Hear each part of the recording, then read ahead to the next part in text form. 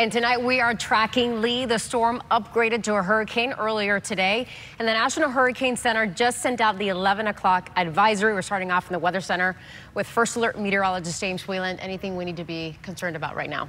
Yeah, it strengthened a little bit more from 75 up to 80 miles per hour now, and everything else uh, just about the same. Expected to really explosively uh, develop here and increase in strength over the next couple of days, strengthening very rapidly here. It's starting to get better organized here slowly right now. However, as we go in time, it's going to be much more rapidly, and this thing is going to become 150, 155 mile per hour uh, category four storm. So right on the verge there becoming a category five.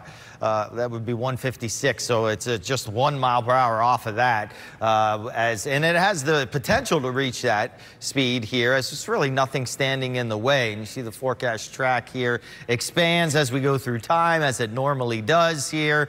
Now the forecast track reasoning, this high up to the north for the short term, this isn't going anywhere. It's steering along the base of this high. So that part a lot of confidence. The part after that, maybe not as much, but there is a weakness in this high. This high isn't expected to build back into the Gulf of Mexico like we've seen others do.